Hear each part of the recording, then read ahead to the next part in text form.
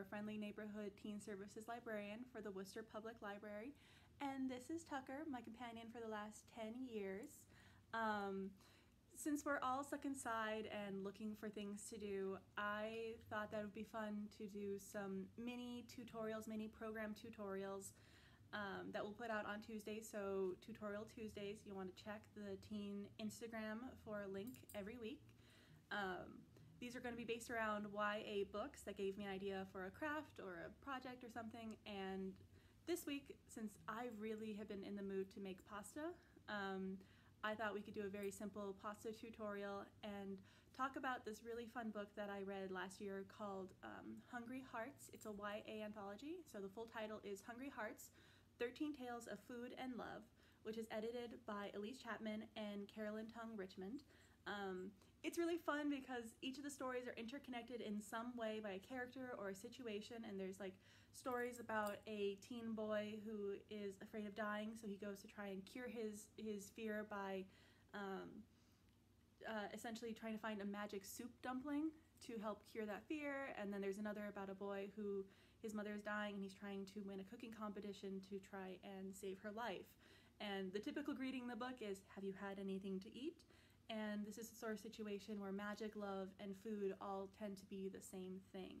Um, so uh, it's in physical format at the main library, so if you're looking to try and read it, I would recommend putting it on your list to try out later. Um, but you can also try looking at other locations to see if there is an ebook um, copy, or you can always look into supporting your local indie publisher or indie bookseller and see if they may have a copy there. Um, so now I am definitely hungry and I know that Tucker is too. So we're ready to make some pasta. Uh, this is a super easy way to impress your family without really trying. Um, so follow me into the kitchen and we'll start. Yes, we will. Okay, so the thing to remember is I am not a chef. I'm a librarian for a good reason, but I like making pasta. Um, I also don't have any of those fancy things like you see on like uh, tasty videos where they put the the phone above the, the table. I'm not that fancy. This is this is about what I have, but it's fine. We'll figure it out. Um, so making pasta, incredibly easy. Um, I'm going to show you how to kind of get it all set up. So what you need is two cups all-purpose flour. So I'm going to pour them out of this in a second. And then you're going to need six large egg yolks so not the, uh, the white, you just need the yellow part. And then two eggs, just plain eggs. Um, then you'll need a little bit of olive oil. I have two tablespoons here and a little bit of salt. Okay, so first step is getting your two, uh, your two cups of um, flour. Don't know where my knife went, okay. That's fine, we improvise, and I'm gonna use my fork. I just like to kind of even it out on the top. Don't pat it down, I just like to even it out. And then it's gonna go in the bowl. And, and also, I'm gonna say this multiple times throughout this video, make sure you wash your hands, please. That is incredibly important, not just in general, but also like when you're cooking, it's really nice to have clean hands. So, okay, so there's the two. And I use a kind of tinier bowl just because I don't have a ton of bowls. I'm not a chef. I only have a few things in my house. Um, and then a little bit of kosher salt. I like putting in just a little bit more than I probably need to, but that's okay. And then I'm just gonna mix it in. Okay, so next up, your egg whites. Um, this is probably a little bit like worrying for some people because like what if it breaks? If it breaks it breaks. It's fine. Next up i had to go get a bowl because i needed, friday needed an extra one. Um, so the next step is putting in your um, six egg yolks. I know i say it weird. I didn't realize how weird i said it until i started saying it a ton of times. Um, anyway so i've already broken my two regular eggs. Just get them out of the way. Um, and so the next step then is the egg yolks. Best way to do it so that you don't get kind of overwhelmed um, by like the rocking back and forth that you see people doing in movies. I don't do that. But what I like to do is break that into a bowl. Then with clean hands, clean hands, right? Scoop in, pick it up just like this. Give it a bit of a shake so that the uh, white goes through your finger. Sometimes you do need to rock it just because there's like little bits that don't want to come off. And then into the bowl. Then we have three there. Um, so I'm going to keep doing that really fast.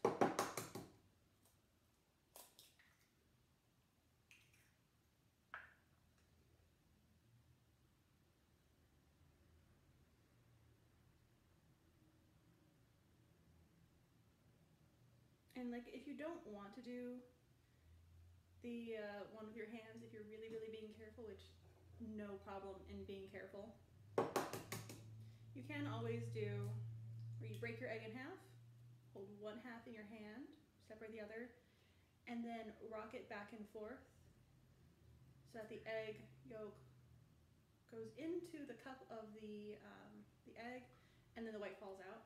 You can do that as well. Um, I just washed my hands a crazy amount of times, so I'm not super worried. I've also been inside for a very long time. Um, anyway, so here is the next one.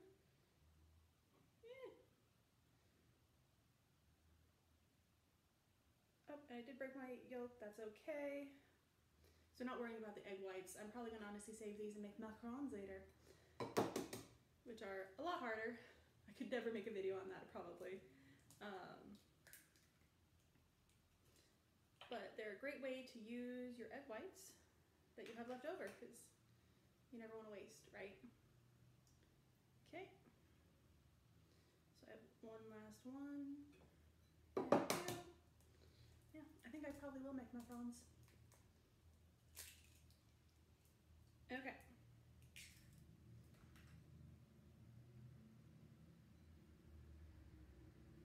Yay. Break, break, break, break. Okay, there we go. Cool. Okay, To pause the video, wash my hands, and then we're to do the next step. Okay, just washed my hands. I'm to get my egg, eggshells, yeah, eggshells out of the way. Just move that to the side. Okay, um, so the next step is the fun part, the best part, but also the part that takes the longest. Um, I'm going to just kind of mix these up. Take a little video, a picture, and me taking the picture. But I'll take a picture. You just kind of want it mixed up just a little bit, not like super large amount, but just enough. I'll insert it so you can see. So the next part is taking my two cups, putting on my nice flat surface, which I have cleaned thoroughly, disinfected thoroughly. And I'm making basically a little pile. It looks a little weird right now, but you'll understand in a second. So the next step, once you have it on your table in a nice little pile, you're gonna make a well.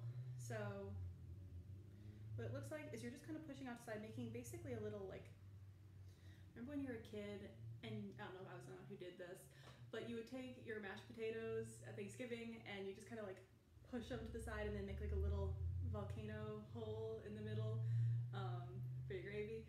I don't know if I was the only one who did that, but it was really fun. Anyway, you want to make a nice big hole because honestly, this these eggs take a fair amount of space. So let me get, take a picture of that and I will include it. You can kind of see how big the well is. There we go. Okay, so the next step, your eggs.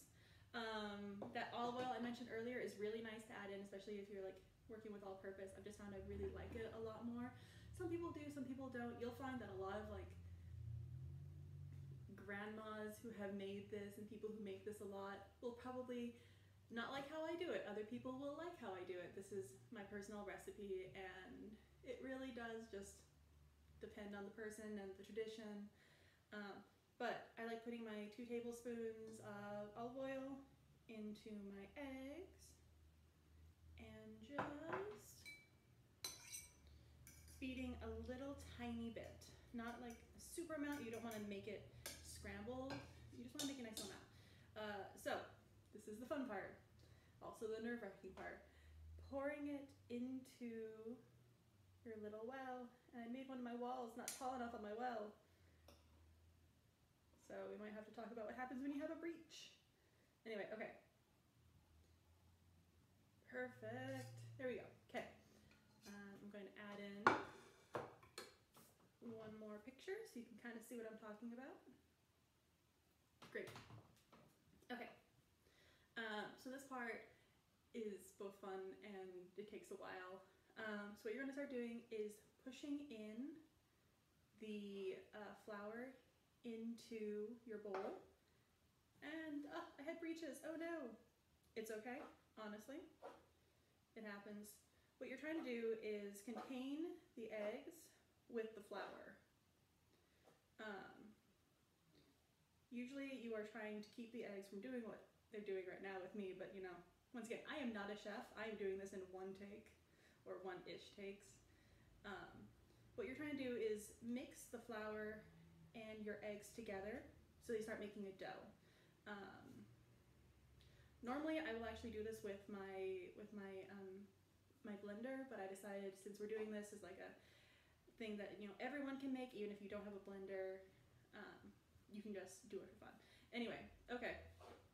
So I'm going to add in a picture of what it looks like from above, so you can kind of see what this mess absolutely looks like. It did not work out the way I wanted. Normally, when you make um, when you make in the bowl, it stays, but I didn't make my walls too tall. So when you're making your uh, flour volcano, make your walls a lot taller and your well a little bit deeper so that you don't have what happened to me. But it's fine. It literally doesn't change anything. It's just really kind of nice. So this is what mine looks like. Okay. So then the next step, um, you got to keep doing this for a little tiny bit until you start getting um, most of the egg, the runny egg, gone and it's all sort of incorporated with the flour. And just keep doing it, keep doing it, keep doing it until it's kind of, yeah, right back here is good. Uh, so you're to clean off your fork. And, okay. So this is the fun part. Um, I'm to put a little bit of flour on my hands, uh, just because it'll make it a little easier so not everything sticks to you. So the next step is you're going to knead. Kneading takes forever. It takes like seven to 10 minutes. I am not going to make you watch me knead for seven, 10 minutes. I am going to speed through that.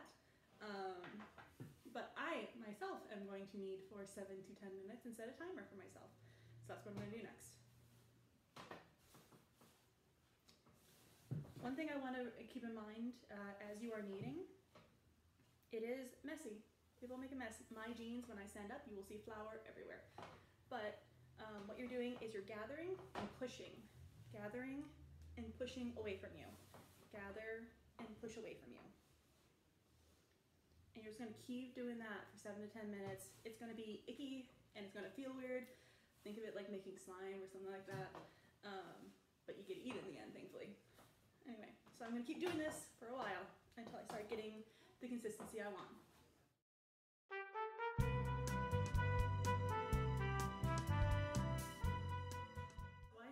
Video because I wanted to clean my space, wash my hands again, and uh, kind of show you, this is about like six minutes in, so I'm really close to being done with it.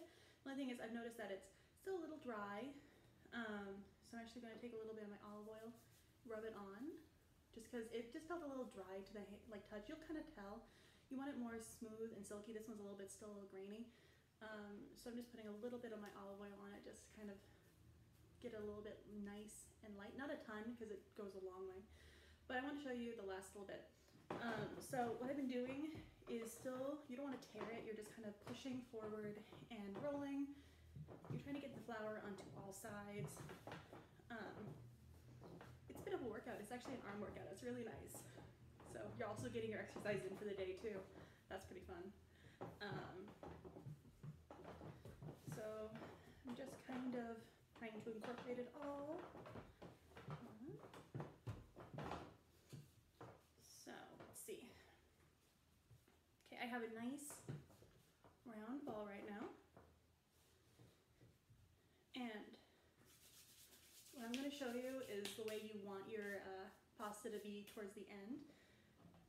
So I'm going to make a small little video to show you. So what you see, your lovely little pasta ball. Um, so what I'm doing to kind of test it is poke it, and you see how it comes back after I've poked it? It sort of springs. That means that it's pretty much ready to be set aside. Um, so I'm going to cover it one last time with um, some oil just on the outside because I like it just having a little bit of oil on the outside because it's going to sit, it's going to soak in and it'll make it really nice and smooth when you're ready to do it, do the rest of the uh, work in an hour because what's going to happen next is going to sit for an hour, uh, 30 minutes to an hour. Um, I'm going to let it sit for an hour, but you're going to let it sit. You're not going to let it sit on its own. You're going to wrap it in like cling wrap, anything that you have that's kind of like that. Something stretchy that will go around it so that the air doesn't get to it. And so you're to let it sit for an hour to 30 minutes. And then we'll be back in the end and I'll show you how to roll and cut it and the table will be all clean again. And yeah, so I'll see you in an hour. Okay, so I am back. It's been a little over an hour. Um, I got distracted answering emails. So um, our next step is we're going to roll this and we're going to cut it out. Um, a little tiny bit of flour go so loudly um, on my table just because I like it nice and um, nice and clear. Um, you can absolutely just put down like wax or stuff. I don't because it gets everywhere, so I just don't. Um, but anyway, so my dough is nice and ready. And the way that you know that it's ready, um, it has a little bit more of a yellow sheen, as well as it is incredibly soft. It doesn't have that spring back like the other one did. Um, so it's nice and soft and ready to be uh, cut. Now I'm going to cut it into smaller pieces to make it easier to work with. So I like to cut it like you're cutting pie dough. Be incredibly careful when you're using the knife. It is a large knife. Um, and we're going to set aside the other pieces. This is very, very like, um, let's see. It's also nice and gooey almost, not gooey, um, elasticy kind of, but into a small ball. And you're going to roll it out. So the interesting thing is, um, I'm right now doing this entirely by hand. Uh, because I make enough pasta, I tend to actually use a pasta roller, which is right here. It's lovely.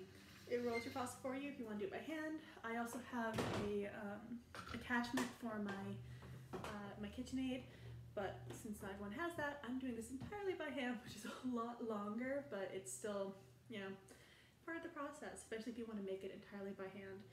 Uh, so what I've done is I've rolled it out kind of flat. It's not in the perfect shape, so the best way to do this is you kind of make an envelope. So you fold in and you fold in. And just like this. And then you roll. And then I'm going to do another one just on the top. So you can kind of see how it's rolled in like an envelope. So you're basically making an envelope. And then roll and you just keep on rolling probably going to fast forward through a lot of this um, until I get to like about the consistency I want and you'll see what it looks like in a second.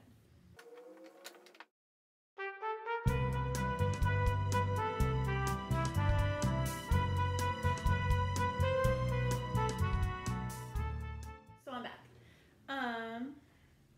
and I'm not entirely ready to put out. But what I've been doing is I realized I made this a little too short. Um, it definitely needs to be a little bit longer if you want to have like actual pasta, but this is handmade. Handmade is not perfect. So what I'm trying to do is not have my rolling pin be very sticky. So what I'm trying to do is roll this out so it's so thin you can actually read paper through it. Um, like read, like the whole thing that I used to hear was you need to be able to read a, um, a love letter through it, which I like that, that's cute. Uh, it goes with our whole theme too um, of Hungry Hearts, which once again you should absolutely read when you get the chance. But what I'm trying to do is make it thin enough to see through.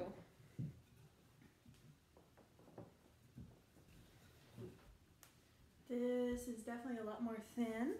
And let's see. Oh yeah, I can read the words through. You'll see how cool that is. Okay, now, okay, uh, next step. So cutting these out, I'm cutting once again by hand. If you were lucky enough to have a parent who just like had a bit of pasta roller just thrown off to the side or hidden, absolutely use it, they're amazing. But I'm gonna do it by hand. So you're folding in like an envelope again, because you wanna kind of have more or less same size. I'm gonna do linguine for this. So I'm folding in once and twice. I'm folding in again. It's a little bit sticky, so I need to be careful because I don't want to stick together. But you take your knife and you cut down into strips, even sized. Made mine a little thick, but that's okay. Okay, so then pull aside your excess because you'll add this to your other pieces because you just keep using the same roll until you finally have all that you need. So what I have. Beautiful piece of linguine. Nice. It's a little thick, but that's fine. Um, but yeah, so you just roll this up, set it off to the side in kind of a little nest shape. That's the best way I can describe it. And leave it there while you do the rest. Um, just make sure they don't stick together because they can. Don't let them get wet because they will absolutely start sticking together again. And you just keep on rolling and you do this to every single piece that I have. So I have what? One, two, three, four, five, six, seven, eight more pieces left over there going to be rolling for a long time. But this is what I have. Um, so the interesting thing is, I'm not finished with this recipe just yet. You do not have to watch this, at least not now, but I am going to take this recipe and I got something from my friend in Italy who she lives in Tuscany and she sent me a very easy carbonara recipe that I want to put with this. So I will probably actually, you'll see next week how to make carbonara. And then I think the week after that I'm making cookies. And then we're going to start getting to other things because I can't cook forever. Once again, I am not a chef. But um, I thought this was a really fun way to do some kind of programming, to do some kind of activity together since we're separate. Uh, so if you make this, please let me know how it went. If you read the book, please let me know how you liked it. And um, if you come up with any other books that you like that are like cooking based or something, absolutely send me the link. I love reading those things and I love putting out your recommendations. Um, but yeah, here is my little roll of linguine. Um, and I will then see you soon. Bye.